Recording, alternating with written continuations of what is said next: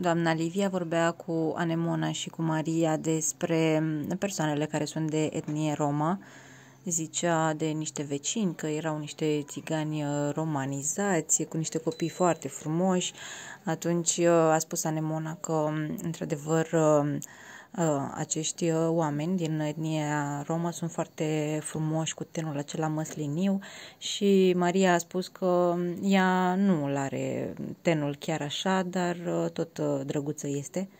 Nu cred că este pentru prima dată în casă când vorbește și recunoaște faptul că este de etnie romă.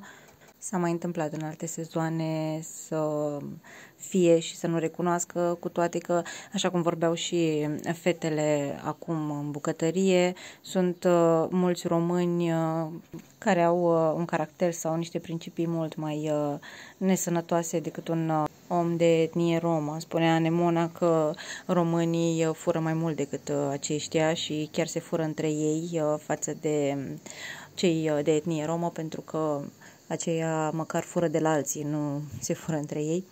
Maria zicea că dacă nu ar uh, zice ea, nu ar ști nimeni că este romă, pentru că din aspectul fizic uh, nu se vede asta.